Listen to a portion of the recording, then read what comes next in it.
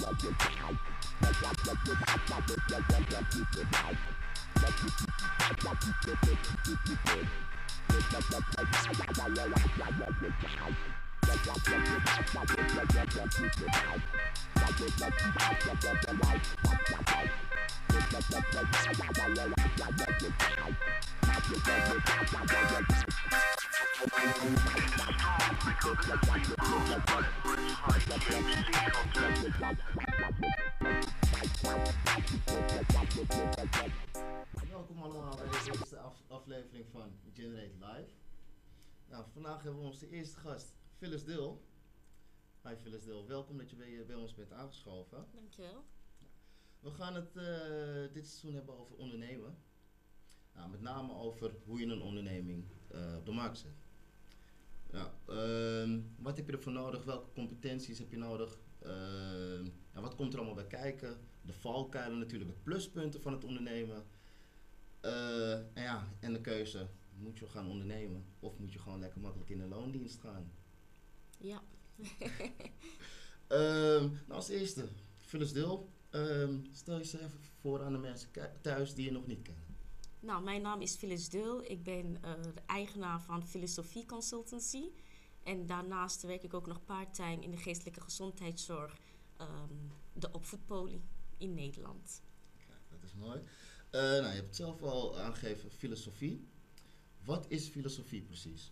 Nou, Filosofie is een adviesbureau eigenlijk, die andere, die professionals in de hulpverleningssector begeleidt of traint in multicultureel hulpverlenen. Meestal weten ze wel wat ze moeten doen, maar het is meestal gericht, de hulpverlening in Nederland is vaak gericht op eh, westerse mensen. En in Nederland wonen al geruime tijd ook heel veel niet-westerse mensen. Oké. En hoe bereiken jullie voornamelijk deze westerse mensen? Of tenminste niet-westerse mensen. Want ja, dat gaat niet op de normale eh, manier, neem ik aan. Nou, wat, wat filosofie eigenlijk doet, is niet zozeer de doelgroep van de niet-westerse mensen eh, begeleiden, maar de professionals die werken met de niet-westerse mensen. En dat, kan, dat is eigenlijk iedereen in de hulpverlening. Als je kijkt naar grote steden zoals Amsterdam, Rotterdam, Utrecht, zijn er altijd hele groepen niet-westerse mensen. En eh, zoals Bureau Jeugdzorg heeft er veel mee te maken, Raad voor de Kinderbescherming, politie, noem het maar op. En eh, wat ik dan eigenlijk doe binnen filosofie, is die professionals hun werk wat ze al, al goed doen, nog beter laten doen, doordat ze wat sensitiever wordt of bewuster worden van wat van hun is, wat van de ander is en wat hen beter gaat helpen om hun doelgroep beter te hulp te zijn. Oké, dus jullie hebben eigenlijk ook een ander soort visie dan bijvoorbeeld ehm, de normale eh welzijnsinstanties. Ja, dat klopt. Eh, ja, ik vind heel erg, en dat sluit ook heel erg mooi bij de visie van opvoedpolis. Dat is een van de redenen waarom ik daar ook part-time werk. Ik vind, binnen filosofie vinden we dat ook gewoon, elk mens is anders. En je kan niet wat je netjes uit de boeken leert zo toepassen op de mens. Ja. Je moet precies weten, als hulpverlener moet je weten wie je bent, wie de ander is. Maar je moet ook in gesprek durven gaan zonder jouw eigen waardenormen te plakken op de ander. En dat is niet alleen met betrekking tot cultuur, maar dat is ook met betrekking tot sociale klasse, niveauverschil. Nou, noem het maar op. Dus jullie passen bijvoorbeeld, dus eh laten we zeggen, ehm, je, komt bij een, je hebt een doktersafspraak. In plaats van dat de dokter eh, even naar je kijkt en zegt van nou deze medicijnen moet je nemen, Heel goed. dan passen jullie het dus eigenlijk echt helemaal op de, op de klant eh, aan. Ja, wat wij bijvoorbeeld doen, trainingen die ik eerder bijvoorbeeld heb gegeven, ook aan huisartsen toevallig. Dat is eh, huisartsen die in regio's zitten eh, waar heel veel niet-westerse mensen wonen. Maar ze hebben geleerd tijdens een artsenopleiding. Nou ja, je hebt zoveel minuten om je patiënt te zien, om een analyse te maken, om inschatting te maken. Goh, wat is er aan de hand? En dan wel of niet doorverwijzen. Dus er wordt ook iets verwacht van de patiënt. Die moet iets kunnen vertellen over hun aandoening of wat ze voelen. Maar als je dan bijvoorbeeld een Ghanese of Turks of Marokkaans eh, patiënt hebt, die, gaat niet, die is weer anders opgevoed. Dus die gaat niet helemaal kant en klaar met een lijstje naar de huisarts. Nou, ik heb hoofdpijn, ik heb eh, dit en dat en ik denk dat het dat en dat is, dus schuift u mij dit voor. Oké. Dat gebeurt precies andersom. Die Ja. verwacht min of meer, nou ja, die verwacht eigenlijk gewoon een dergelijk patiënt. Die gaat naar de huisarts, even gechargeerd gezegd hoor. Die gaat naar de huisarts en die gaat vanuit, ik zeg, ik heb pijn. Het is aan jou als arts om te Ja. onderzoeken waar ik pijn heb. Oké. Dus eh, de gedachten zijn anders en de verwachtingen daarmee ook. Dus je werkt eigenlijk net andersom. Precies, precies. Oké. Eh, Phyllis, wat, waarom ben je eigenlijk gaan ondernemen? Nou, ik heb eh, tien jaar bij Bureau Jeugdzorg gewerkt, eh, Amsterdam, met mijn stages meegenomen. En ik merkte daar dat het eigenlijk niet helemaal werkte. Geen fout woord erover, ik heb heel veel geleerd, ben gepokt en gemazeld daar. Maar ik merkte ook dat heel veel mensen echt klem kwamen te zitten. Alles was heel erg eh, ook in een protocol. Je hebt zoveel minuten voor een gesprek. Je hebt zoveel gesprekken per cliënt. Maar de cliënten zijn er niet altijd heel erg bij gebaat. De kinderen worden redelijk beschermd, maar er is meer nodig. Mensen moeten zich ook eh, voelen dat ze geholpen worden. En mensen moeten zich vrijer voelen om hun echte problemen met jou als hulpverlener te durven delen. Dat, daarbij, daarnaast kreeg ik ook steeds meer aanvragen buiten bureau jeugdzorg om. Om gewoon als privépersoon eh, basisscholen te helpen in de communicatie tussen ouders en de scholen wanneer zij wilden doorverwijzen naar speciaal basisonderwijs. En dat lukte heel zelden, totdat ik ingehuurd werd. En in het begin heb ik het heel, heel lang gratis gedaan. Toen dacht ik, hé, hey, wacht eens even, dit kan anders. Hier kan ik gewoon geld mee verdienen. Ja. En zodoende ben ik ook eh, gestart. Dus eh, voor jou was het ondernemen niet zozeer om eh, zelfstandig te zijn, maar meer gewoon eigenlijk voor, ja, voor de extra eh, zakgeld. Ja. Ja, en ook meer om een gat op te vullen waarin ik zag dat het misging. Ik ben van nature, ik ben geen ja, ondernemer puur zang. Ik ben hulpverlener puur zang. Ja. En vanuit mijn eh, beroep zag ik heel veel gaten, dingen die gewoon niet goed gingen. Dacht ik, dit kan veel beter en ik, ik kan daar wat aan doen. Eh, dus dit, dit is dan ook echt de drive, zeg maar, om eh, ja, niet in loondienst te gaan, Ja. om te gaan ondernemen. Ja, want het mooiste vind ik van het ondernemerschap is dat ik zelf ook kan bepalen wat ik doe, wanneer ik wat doe. Ik kan mijn eigen protocollen maken. Ik hoef me niet te houden aan een bepaald beleid van een instelling. Wat niet lukt binnen de instelling waar ik werk, doe ik gewoon daarbuiten. En het is prachtig om te zien hoe groot de wereld eigenlijk is. De Ja. mogelijkheden zijn in principe onbeperkt. Oké. Ehm, nou, je vertelde dus net ehm, dat je dus eerst bij bureau jeugdzorg hebt gezeten. Ja. Heb je geprobeerd om daar eh, nou, dat, jouw manier van denken, dus jouw visie, op hun over te brengen? Ja, dat heb ik zo koppig als ik ben, heb ik dat meteen eh, geprobeerd toen ik zag dat er zoveel vraag was. Zoveel scholen, zoveel ouders wilden mij betrekken bij zaken wat eigenlijk niet direct iets van bureau jeugdzorg was. Toen dacht ik, hé, hey, hier kan ik iets mee. Toen ben ik naar mijn manager gegaan. En die had er helemaal geen oren naar. Nee, daar zijn wij niet voor. Dit is onze core business en iets daarbuiten moeten ze maar commerciële bedrijven op gaan zoeken. Dus je zag eigenlijk een gat in de markt. Als Juist, ja. En dat werd niet opgepakt door eh, de instelling waar ik werkte. En ik kreeg het ook niet doorheen. Er zijn natuurlijk ja, heel veel lagen waar je doorheen moet. En het is zo moeilijk. En toen kreeg ik, had ik een, ges- een gesprek met mijn voormalige stagebegeleider. En die zei heel mooi tegen mij: laat niemand je drive afpakken. Als dat is wat je wil en je hebt een toegevoegde waarde in de maatschappij, moet je er gewoon voor gaan. Kijk, dat is een mooie quote voor de mensen thuis die aan het kijken zijn. Je hoort het goed, dus als je als je, je inzet voor iets, dan kan je het ook echt bereiken. Dus laat niemand je drive afpakken en ga er gewoon voor. Ehm, ben je, dit doe je dus niet fulltime. Nee, ik werk drie dagen voor filosofie consultancy en drie dagen voor opvoedpolie. Ah, Oké. En ben je ook van plan om ja, in de toekomst toch fulltime voor jezelf te, eh, te gaan werken, dus voor filosofie? Nou, dat is heel erg interessant dat je dat vraagt. Ik werk nu vier jaar als zelfstandige en ook vier jaar voor de opvoedpolie. En tot de dag van vandaag is dat de vraag wat iedereen aan mij vraagt. Ik heb eh, collega's van andere eh, bedrijven, zoals Opbloeien, waar ik veel mee samenwerk in landelijke training aanpak kindermishandeling. En eh, zij haalt behoorlijk wat opdrachten binnen en we doen heel veel opdrachten samen. Heel veel trainingen. En zij zegt, goh, nu halen we zoveel opdrachten binnen. Moeten we, hebben we een soort wachtlijst. Moeten we mensen steeds verder schuiven. Ben je van plan om ooit fulltime voor jezelf te werken? Ik, ik denk het niet, om heel eerlijk te zijn. Ik geniet zoveel van... Ik eet eigenlijk van twee walletjes. Ja. En het smaakt me prima. Want als ik alleen als zelfstandige ben, ben je zo alleen. Want ik ben dan ook echt alleen. En ik werk nu voor een eh, hartstikke leuke instelling, bedrijf. En ik kan ook, er is een soort kruisbestuiving. Ik kan heel veel meenemen in opvoedpolie en ik kan ook heel veel meenemen in filosofie. Dus onze netwerken kruisen elkaar en we kunnen optimaal van elkaar profiteren. En ik haal zo het beste van beide werelden. Oké, het eh, klinkt heel goed. Inderdaad, lijkt me leuk om dat... eh, Het is geweldig. Ja? ik, ik denk dat ik een van de weinige mensen helaas ben. Krijg ik ook vaak te horen van mensen die met vol overgave en heel veel plezier elke dag weer naar mijn werk gaan. Ja, je straalt ook. Ik merk het gewoon aan je Ja. dat je het ook leuk vindt om, te- om erover te praten. Dus Dat klopt. eh, ik, ik mag het bijna niet zeggen, maar ik vind mijn werk heerlijk. Nou, de, voor de mensen thuis, ehm, mochten jullie vragen hebben voor fillers, eh, dan kunnen jullie altijd via twitter.com hashtag eh, generate live kunnen jullie vragen stellen. En dan komen jullie direct in de uitzending en zal ik dus jullie vragen, jullie vragen direct aan fillers richten. Ehm Phyllis, een, een heel andere soort vraag. Ehm, wat is in jouw ogen een geslaagde ondernemer? Wanneer ben je dus, heb je dat dus eigenlijk gemaakt?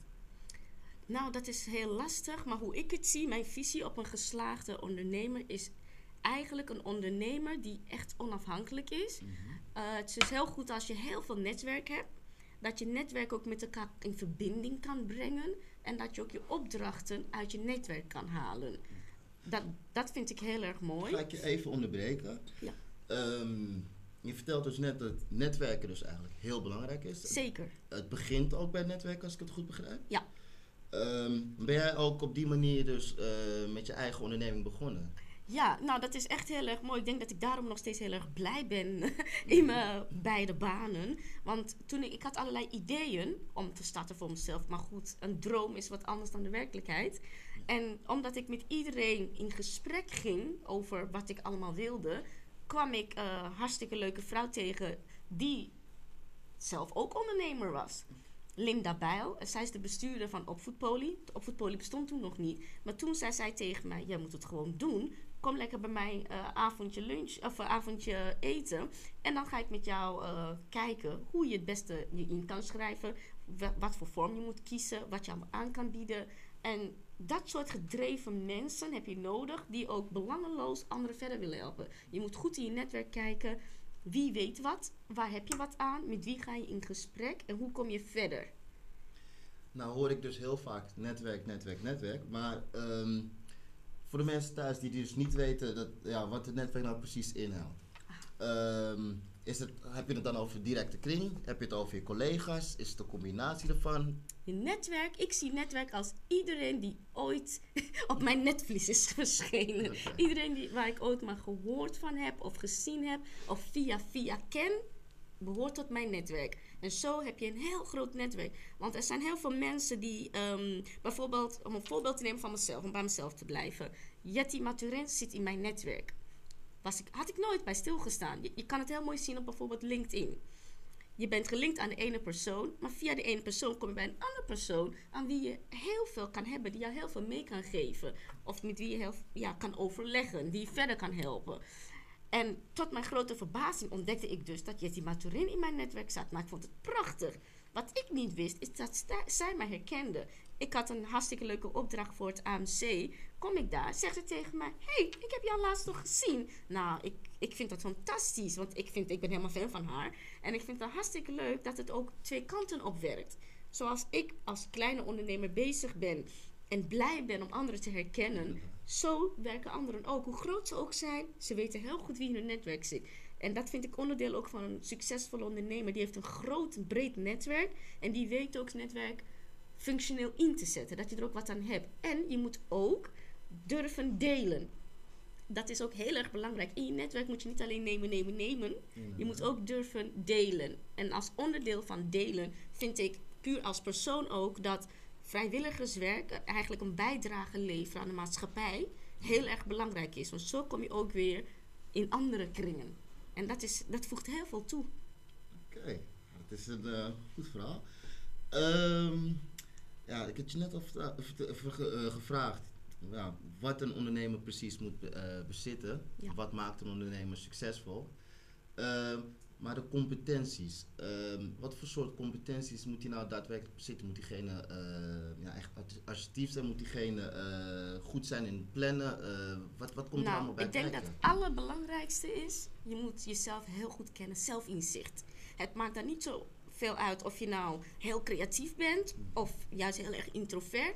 Want dan weet je dat van jezelf en dan kan je namelijk jezelf, kan je andere mensen toevoegen om jezelf te verbeteren. Dan komen we toch weer terug op het netwerk eigenlijk. Precies, je hebt elkaar, één ding, je redt het niet alleen. Dus als je heel erg egoïstisch bent, in die zin van alleen doen en ik red alles alleen, dan ben ik bang dat je het niet redt. Dat is een eigenschap wat niet helemaal past bij ondernemerschap. Je moet uh, ja, enigszins sociaal zijn. Ben je dat niet, moet je mensen om je heen verzamelen die dat wel zijn. Ja. Dus eigenlijk is het belangrijkste is zelfkennis. Je moet je zwakke plekken kennen en ook toe kunnen geven, durven geven aan jezelf. Mhm. En bereid zijn daar wat in te veranderen. Je sterke punten moet je ook kennen, want die moet je ook kunnen verkopen aan anderen. En je moet kwaliteit willen leveren. En dat betekent dus ook dat je keihard moet willen werken. Niet, niet zeuren, maar gewoon werken. Ik vind dat heel veel mensen te veel zeuren. Maar je moet gewoon mond houden, werken. En dan ga je zien, als je datgene doet wat je echt leuk vindt, ga je ervan genieten en dan haal je zoveel uit je werk dat je alleen maar beter wordt. En ik vind dat het belangrijk is voor ondernemerschap. Aan de ene kant moet je kunnen ondernemen, risico's durven nemen, maar je moet ook vakinhoudelijk goed zijn. En echt ook kwaliteit willen leveren. Mensen moeten weer uit zichzelf naar je terug willen komen, nieuwe opdrachten krijgen. Dan ben je een succesvol ondernemer als je product zichzelf verkoopt. Oké. Nou, uh, aan de hand van deze competenties, denk je, bezit je deze competenties zelf dan ook? Ja, ik vind van wel.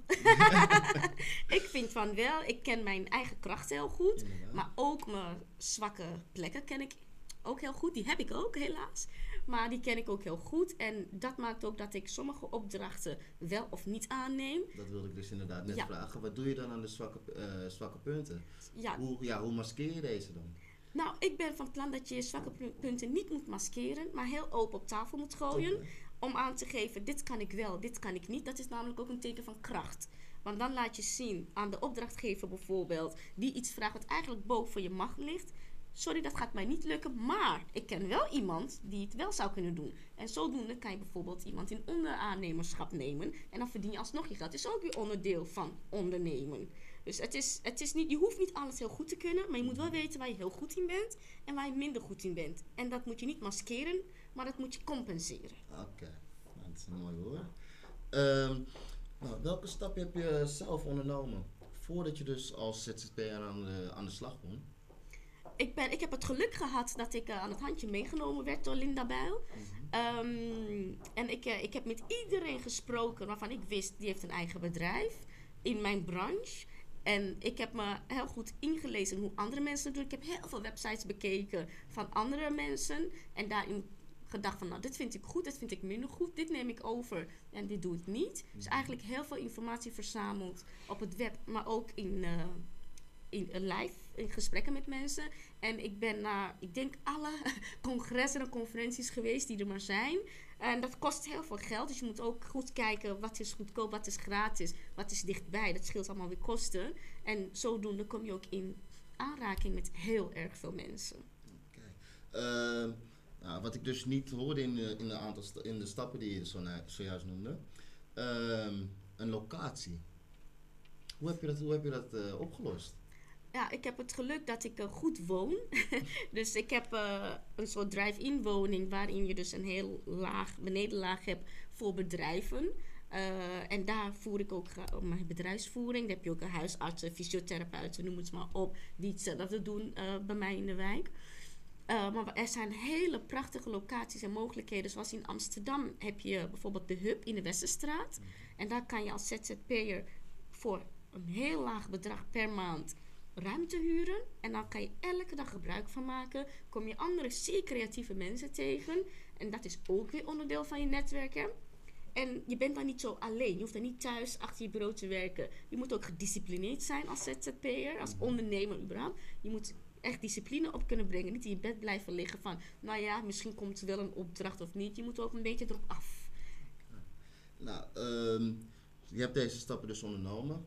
Je hebt je bedrijf, eh, ja, je bedrijf komt nu van de grond. Ja. Ja, wat zijn de valkuilen? Wat zijn, wat zijn de, ja, de pluspunten en de minpunten van het ondernemen? Eh, je ik, vertelde net zo, zo- je vertelde- sorry, maar je vertelde zo net, ehm, ja, het is niet altijd leuk. Het is niet altijd even leuk. Je Nee. hebt wel plezier in je werk, Ja. maar soms is het zwaar. Soms is het heel erg zwaar wanneer je heel veel deadlines moet halen. En je bent als ZZP'er, je bent alleen. En je kan niet heel veel afgeven aan anderen. Mhm. Ook financieel gezien, want dat geld moet ook binnenkomen. Hypotheek moet ook betaald worden. Mhm.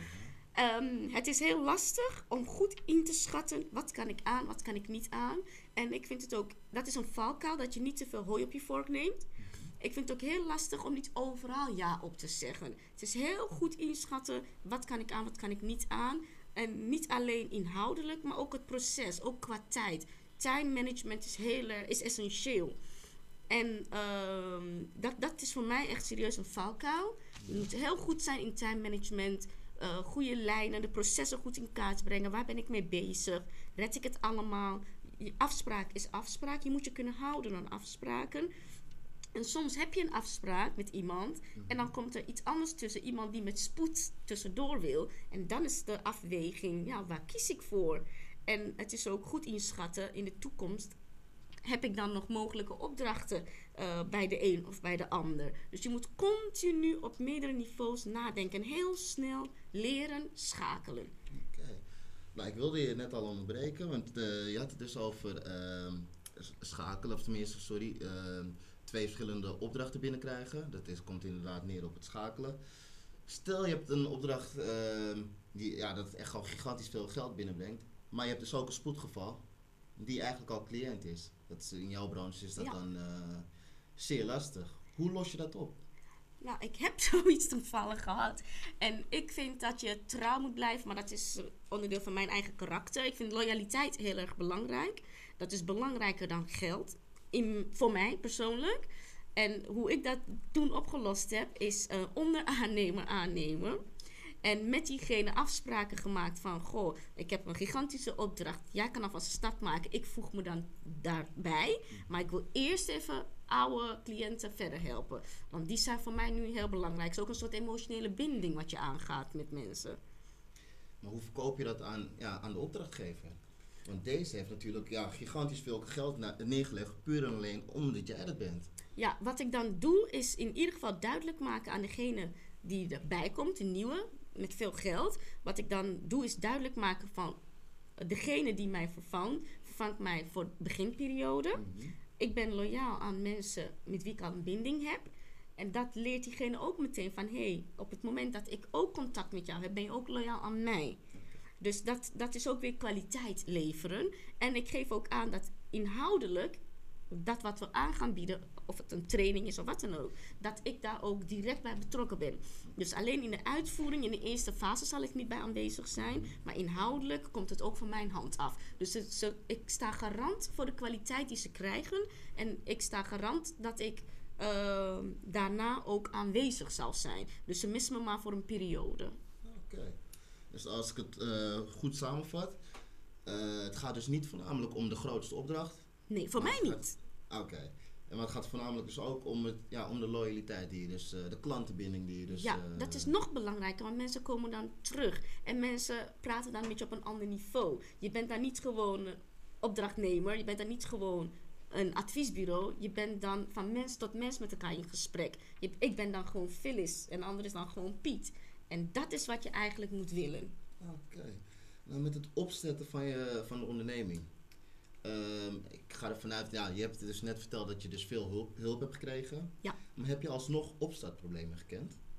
Nou, eigenlijk niet. En ik denk dat dat komt omdat ik echt een gat in de markt had gevonden. En dat is zoiets bizars, want als ik van andere mensen iets hoor, dan hebben zij dus wel opstartproblemen gehad. En Zou je misschien een voorbeeld kunnen geven? Ja, dat ze bijvoorbeeld niet aan de lopende band opdrachten binnenkrijgen. Waar ze dan toch wel op gerekend hebben. Want dat, dat budgetteer je toch. Ja. Want je moet verder. Je kan niet op twee opdrachten leven. Het moet binnen blijven komen. En uh, waar heel veel mensen zich toch op verkijken. Binnen mijn netwerk dan, wat ik vaak terug hoor. Is dat de opdrachten wel zullen blijven komen. Je bent ook afhankelijk van uh, de regering, van het beleid. Je bent afhankelijk van heel veel van subsidieregelingen. Dus je moet verschillende financieringsstromen hebben. Om niet uh, meteen vast te zitten als één financieringsstroom niet goed gaat. Dus je, je moet eigenlijk een beetje verspreiden, je kansen verspreiden. Maar daarbinnen ook risico durven nemen. En ook loslaten, niet te lang treuren als een opdracht niet doorgaat. Maar verder willen kijken, niet te lang blijven hangen. Ook verder willen kijken en op mensen afgaan, instellingen afgaan. Ik heb dit te bieden, dit is mijn aanbod, kan je me verder helpen? Want als je te lang blijft hangen in dat wat niet goed gaat, dan zak je steeds dieper weg en de opdrachten komen niet vanzelf. Je zult er wat voor moeten doen. Klopt, inderdaad. Ehm, nou, hoe haal jij de, de, de acquisities binnen? Nou, dat is eigenlijk ook misschien niet helemaal eerlijk. Dat heb ik ook geheel te danken. Ik heb tot nu toe nog helemaal geen reclame hoeven doen, hoeven maken. Uh, ik heb het puur te danken aan de mensen in mijn netwerk die elkaar over mij vertellen. Van, oh, heb je dit? Ik heb laatst uh, een prachtige weekendtraining mogen geven voor een Turkse uh, zelforganisatie in Ede. Nou, dat kom ik anders ook nooit. Nou, ik was zo blij dat ik gevraagd werd voor zoiets. En ik ken die mensen niet. Zij kennen weer iemand die mij dan weer kent. Of zij kennen iemand eigenlijk via drie stappen gegaan. En dat is als je goed contact hebt met de mensen die je kent. Als je jezelf goed verkoopt, maar ook jezelf blijft daarin. Dus heel goed bij jezelf blijven. Dan ben je authentiek. Mensen voelen dat. Het spreekt mensen aan. Ze zullen over jou vertellen. Dat is eigenlijk mijn reclame. Oké, nou, dat is... Uh dus eigenlijk, als ik het goed begrijp, um, het gaat namelijk dus meer om uh, de netwerk dan dat je daadwerkelijk zelf op zoek gaat naar nieuwe opdrachten. Ja, weet je wat het is? Het is namelijk een gunfactor als ondernemer. Je mhm. kan heel goed zijn inhoudelijk, maar als je niet de juiste mensen kent die jou gunnen om een opdracht te geven, kom je nooit aan de bak. Dus iemand moet jou een kans willen geven. En hoe kom je zover dat iemand jou een kans wilt geven? Doordat iemand je aanbeveelt. Of doordat ze je leren kennen en jou mogen. Het is puur op de persoon. Dus gun ik het je wel, gun ik het je niet. Precies, echt gewoon een gunfactor. Vind ik wel. Oké, dat is inderdaad moeilijk om uh, ja, duidelijk te maken van ja, waar ligt het dan precies aan? Hoe haal je dan uh, los van de netwerk acquisities binnen? Ja. Uh, heb je dat ook moet, heb je dat wel eens moeten doen? Los van in je eigen netwerk dus acquisities binnen moeten halen? Nou, ik heb een keer samen met iemand anders met die ik redelijk vaak samenwerk. Mhm. dat was haar idee. Heb ik een keer bij een grote instelling acquisitie binnen proberen te halen. En toen kreeg ik te horen, en dat was best wel pijnlijk dat we de opdracht niet binnen zouden krijgen, want hun eigen mensen gaan voor. Terwijl ik als enige persoon, toen ik alleen werkte, gevraagd ben door diezelfde organisatie om trainingen te geven. Dat is dan wel weer apart. Dat was voor mij een eye-opener. Want je hebt organisatie A, die kent meneer of mevrouw B. En die meneer of mevrouw kent mij. En die draagt mij voor. En organisatie A neemt mij aan en geeft mij opdrachten. Vervolgens is de reeks opdrachten afgelopen, hartstikke positief afgesloten, leuk. Heb ik die mensen weer in mijn netwerk. Mijn partner, met wie ik redelijk vaak samenwerk, die wil ook voor die organisatie aanwerken of opdrachten invullen. Toen heb ik haar geïntroduceerd om samen die opdracht uit te voeren. toen kregen we nee te horen. Nee, want de mensen die ze al in hun netwerk hebben, gaan voor. Dat is heel apart, inderdaad. Ja, dat betekent dus dat toen ze mij die opdracht gaven, deden ze dat niet per se om mij, maar ze deden het om degene die mij voordroeg. Oké. Zo werkt het dus ook. Dus dan komen we toch weer terug op het gunfactor. Dat bedoel ik. Uh, nou, we lopen alweer ten einde van de eerste aflevering. Um, heb je iets voor de startende ondernemers, de toekomstige ondernemers? Wat wil je hun meegeven? Wat is echt het belangrijkste wat je dus uit je eigen, uh, ja, eigen ervaring hebt uh, meegegeven? Um, nou, even denken. Ja, ik zeg, wil je snel vooruit, loop dan alleen. Wil je verder komen, loop dan samen. Je hebt anderen nodig. Alleen red je het niet. Maakt niet uit hoe goed je bent in je vak. Maakt niet uit hoe geweldig je denkt dat je bent. Je hebt altijd anderen nodig. Verzamel mensen om je heen. Je hebt netwerk nodig. En sta je niet blind alleen op het geld. Het is ook heel belangrijk dat je wat terug doet voor de maatschappij. Het is, wat, het is belangrijk dat je laat zien wie je echt bent als mens. Los van je functie. Okay. Het zijn prachtige woorden. Ik kan er eigenlijk niets aan toevoegen. Mooi. nou, ik wil je bedanken dat je hier uh, aangeschoven bent. Graag gedaan. En ik wil je veel succes wensen in je, ja, in je verdere loopbaan. Dank je. je weet dat je ooit toch nog eens uh, fulltime in loon, uh, in, als ZZP'er aan de slag gaat. Weet maar nooit. Dan Of kom ik terug. Dat, daar hou ik je aan. nou, kijkers thuis. eh, ik wil jullie bedanken voor het, eh, voor het kijken. Volgende week zijn we er weer om twee uur. Ehm, tot dan.